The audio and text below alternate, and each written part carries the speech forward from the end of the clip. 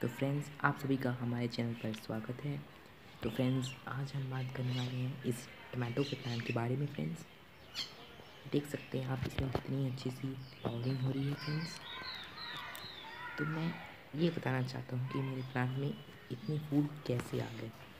आप तक मेरे ख्याल से आपने इतने फूल किसी भी प्लांट में नहीं देखे होंगे। देखिए फ्रेंड्स, कितने ज़्यादा फूल आए हैं और मैक्सिमम सब बन चुके हैं फ्रूट। देखिए फ्रेंड्स कितने ज़्यादा फ्लावर्स आए हैं। तो ये देखिए फ्रेंड्स नीचे देखिए, मैंने इसमें एक दहलिया का प्लांट भी लगा रखा है। तो मैंने ऐसा क्या किया? मेरे प्लांट में इतने अच्छे से फ्लावरिंग हुई। देख सकते हैं फ्रेंड्स तो मैंने क्या किया अपने रोज़ प्लांट में कि मैंने इससे पहले तो एक साल पुराना है ये रोज़ प्लांट ये प्लांट है मेरा।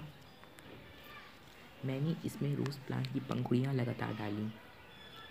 जिससे कि ये प्लांट काफ़ी हेल्दी हो गया। रोज़ प्लांट की पंखुड़ियाँ से ये प्लांट बहुत हेल्दी हो जाता है फ्रेंड्स आप रोज़ प्लांट की पंखुड़ियाँ इसमें ज़रूर डाला करें। तो मैं आपको दिखाना चाहता हूँ कुछ और। ये देखिए, इधर मेरे टमाटो प्लांट्स लगे हैं जो कि साल भर पुराने नहीं हैं।